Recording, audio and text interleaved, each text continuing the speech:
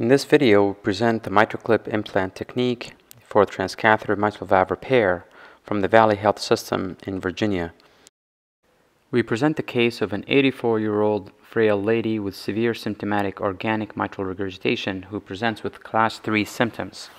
She also has multiple comorbidities including frailty, prior stroke, diabetes, and advanced kidney and lung disease with pulmonary hypertension. She has a predicted risk of mortality of approximately 15% by STS and has technical considerations including moderate annular dilatation and mitral annular calcification. Due to these reasons, we thought that this patient would have a very good option in a MitraClip transcatheter mitral valve repair as an alternative to surgery. The MitraClip system components are important to understand by the proceduralist. The MitraClip device itself consists of the clip arms as well as the gripper. However, the delivery system is somewhat sophisticated and requires thorough awareness of all the available components. The clip delivery system has two separate components. The first is a steerable guide, sleeve, and delivery catheter, which controls the delivery sheath. A second component delivers the clip, which includes a delivery catheter handle and system which control the movement of the clip that allow appropriate grasping of the leaflets. The patient is positioned supine in the hybrid operating room and general anesthesia is induced with endotracheal intubation. Invasive arterial line monitoring is achieved via the radial artery and large bore venous access was inserted into the right internal jugular vein. Swan-Ganz catheter is not typically used. Patient is then prepped and draped in the usual fashion with exposure of both groins, and preoperative prophylaxis antibiotics are administered per usual protocol. The right femoral vein is obtained for large bore access, and systemic heparinization is administered for an ACT of 250 to 300. Transesophageal echocardiography is mandatory for guidance, and the use of 2D and 3D live transesophageal echo using X-plane and 3D en face views is essential for successful deployment. Fluoroscopy is also mandatory for guidance and observation of catheter MitraClip deployment.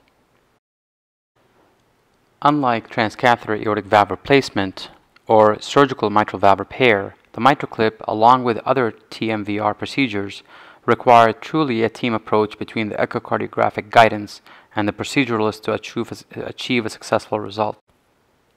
Specifically, the valve team should have a uniform terminology to discuss the navigation of the MitraClip hardware based on navigational echo with 2D and 3D TEE with X-plane and 3D en face views being the most common.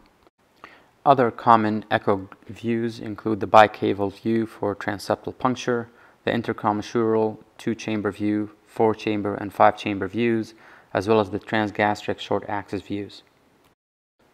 Similarly, Fluoroscopy is important for positioning of the steerable guide into the left atrium, device delivery of the catheter for straddling, as well as position of the clip into the left atrium. Axial alignment and opening of the clip arms also require fluoroscopic guidance, as well as identifying gripper position, as well as clip release and device withdrawal are all done under fluoroscopic guidance. The MitraClip implant technique is really divided into five distinct steps. The first is baseline imaging with comment on leaflet anatomy, segment and scallop prolapse, leaflet tethering, calcification and perforations, with also special attention being paid to transcatheter valve gradient, annular size, and any potential septal concerns that would uh, render transeptal puncture a difficult process. Second, the transeptal puncture is performed with special considerations to location confirmation and safety, followed by steering and positioning of the MitraClip device into the straddle position, clip axial orientation above the mitral valve annulus. This is then followed by leaflet grasping, insertion assessment, and deployment with significant pre-deployment imaging assessment for tissue bridge, gradient, and regurgitation followed by clip release and post-release evaluation. In the end, an assessment is made for the need for any potential further clip placements for a second or third clip, as well as system removal for conclusion of the procedure. Deployment of the MitraClip requires significant knowledge of the MitraClip steerable and catheter guidance, and this takes quite a bit of practice and a steep learning curve. The guide handle controls the anterior and posterior movement, whereas the sleeve handle controls the medial and lateral as well as the anterior and posterior movement. The clip delivery handle controls clip position, grasping, and deployment, whereas the stabilizer movement controls the medial and lateral movement of the clip and steerable guide. Baseline imaging is performed in this patient and we identify a prolapsed posterior leaflet at the P2 scallop with well-functioning ventricular function and further delineation of 3D TEE confirms the finding of posterior prolapse with a flail chordae in the middle of P2.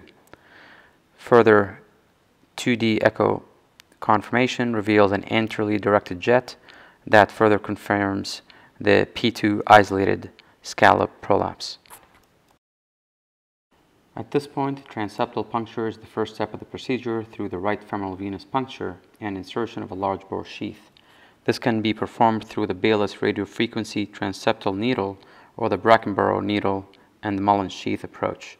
However, approach preferred by the operator, the transeptal puncture is usually performed through a pullback technique with low and steady retraction from the superior vena cava into the mid fossa ovalis under TE guidance using a bicaval or the four or five chamber views with X-plane along with radiofluoroscopic confirmation of the transcatheter needle location. Once identification of the mid fossa ovalis is observed with tenting, the puncture is then desired at the superior and posterior aspect of the fossa to allow for optimal insertion of the guide catheter for easy maneuverability into the left atrium and delivery of the MitraClip. The puncture is also needed to be positioned 4 or 5 centimeters above the mitral valve annulus in organic disease and around 3.5 centimeters in patients with functional disease since the line of coaptation is usually below the annular plane. Many sites often prefer to insert a pigtail catheter into the aortic root as an extra anatomic landmark to further delineate aortic anatomy through the transeptal puncture. Once the puncture is made with a small needle, confirmation of left atrial pressure is important to confirm anatomic location before further dilatation is carried out. Once confirmed, a small 018 wire is inserted into the left atrium, then intraatrial hole is dilated and Mullins sheath is advanced into the left atrium. Heparin is administered with an ACT goal of 250 and a pre-curved 260 centimeter stiff 035 wire is then inserted into the left atrium. A left atrial angiogram can be performed at this point to further confirm the size and the anatomy of the left atrium. And next, we remove the large bore sheath and insert the steerable guide catheter into cone-shaped dilator under fluoroscopic guidance with 2D and 3D TE monitoring. The dilator and wire are then removed, and the guide catheter is placed at 3 centimeters into the left atrium across the septum. Steering and positioning of the MitraClip device requiring position of the metal stabilizer over the right leg and preparation of the clip on the back table with removal of any air within the system. And the clip delivery system is then advanced carefully into the left atrium until the system tip ring is marker is centered between the sleeve alignment markers with a fluoroscopic confirmation, which is often referred to as straddling, occurs. Once this is achieved, the delivery guide and the delivery system are then maneuvered within the left atrium carefully using TE guidance to clear the left atrial wall, the Coumadin ridge, and position the MitraClip centrally over the valve. This is achieved using minor, repetitive adjustments using torque and knob adjustments. The TE observation in 3D short axis en face view with the clip is then unlocked, the grippers are raised, and the clip arms are open to 180 degrees with fluoroscopic confirmation. TE is then used to confirm perpendicularity at 12 and 6 o'clock positions with respect to A2 and P2. The clip is then advanced through the mitral valve annulus in a location that splits the mitral valve regurgitation jet under TE guidance and intercommissural 2D view with X-plane.